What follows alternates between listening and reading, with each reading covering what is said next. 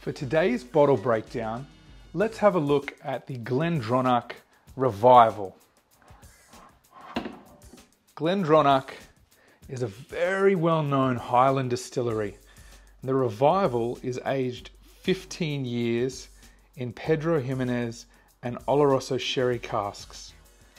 This expression from Glendronach is 46% ABV and natural colour.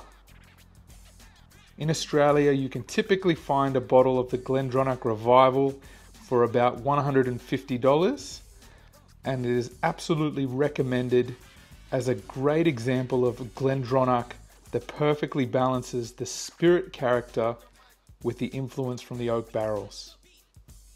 A fantastic sherried whiskey.